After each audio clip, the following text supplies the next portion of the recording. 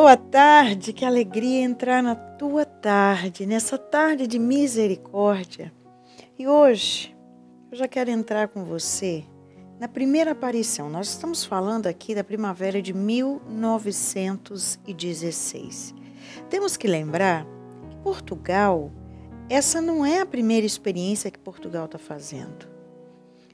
1717, se não me engano, mas mais ou menos aí, nós já tivemos a aparição que é chamada Nossa Senhora da Urtiga, que também foi uma aparição a uma pastorinha que não falava, era muda, e Nossa Senhora aparece para ela e ali começa então a uma, uma grande uma grande revolução, um grande movimento naquela região.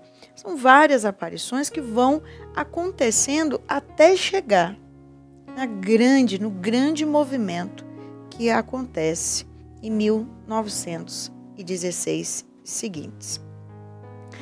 Portugal vai ser o local que Nossa Senhora vai escolher para chamar o homem à conversão.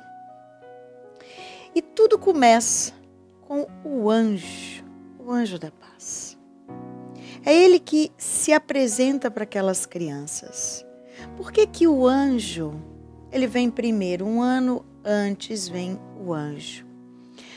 O anjo Primeiramente, ele aparece numa figura de criança, como uma criança, trazendo um pouco mais de proximidade para aquelas crianças, para que as crianças não tivessem medo, para que as crianças eh, se aproximassem, e, e ele vai usar essa expressão várias vezes, não tenha medo. Mas isso vai ter uma conotação muito mais profunda e a gente vai falar sobre isso.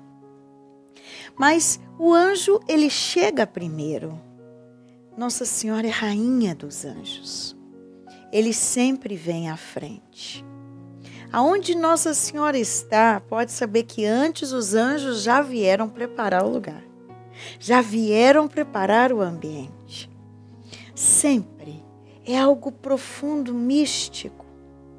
Os anjos, eles vêm, eles se aproximam daquela criança, daquelas crianças, e ele começa a ensinar, ele começa uma catequese. As crianças não tinham catequese. Né? Naquela época, os pais, sim, muito católicos, ensinavam, os educavam, mas muita coisa, muita coisa mesmo, eles vão aprender. Eu me recordo aqui uma história de Jacinta, tão querida, paixãozinha que eu tenho com Jacinta e Francisco. Jacinta, quando ela estava muito doente, já muito doente, ela foi levada para Lisboa, para um hospital. E quando ela chegou em Lisboa, ela foi acolhida antes na casa de uma senhora. E ela estava, aquela senhora estava passando por muitas situações difíceis. Jacinta sentou do ladinho dela e começou a falar e aquela senhora começou a falar para ela exatamente as dúvidas, as dificuldades que aquela senhora estava vivendo. E ela riu e olhou, uma criança, né? Tipo, o que, que essa criança está falando para mim? E quando ela olhou para Jacinta, ela disse: Quem te ensinou essas coisas? De onde vem essa sabedoria?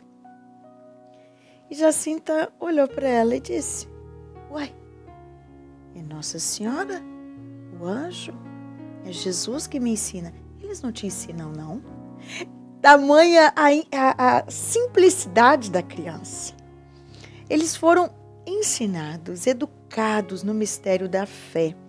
E o anjo de Portugal, o anjo da paz, o anjo da Eucaristia, ou também chamado anjo Miguel, este anjo da paz, ele se apresenta para as crianças e ele diz a primeira frase: Não temais, Sou o anjo da paz. Orai comigo. E hoje eu quero ficar aqui, nessa frase.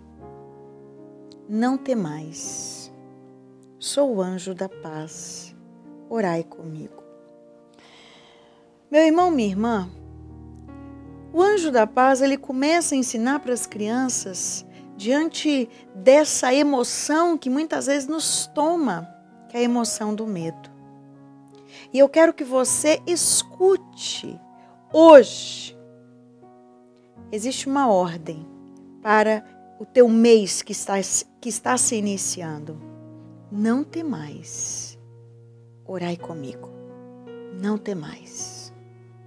E nós vamos, durante essa semana, meditar um pouquinho mais sobre esta ordem, não temer. Como não temer num mundo onde estamos sendo tão atacados, assolados pelo medo? Como assim viver sem medo? O anjo vai ensinar isso para essas crianças e vai nos ensinar também. Eu quero trilhar esse caminho com você, porque está sendo pelas mãos de Fátima que eu estou aprendendo muito a lidar com os meus medos e eu quero que você compreenda. Ela quer fazer isso com você também. O medo não pode te paralisar. Essa é a fala, é a fala de Nossa Senhora para você no dia de hoje. Não tem mais. Não é mais tempo de ser parado, paralisado pelo medo. Roga por nós, mãezinha. Primeiro, para que possamos entender como viver sem medo no mundo que estamos. Roga por nós, Santa Mãe de Deus, para que sejamos dignos das promessas de Cristo. Amém. Coragem, coragem, não temais, orai comigo.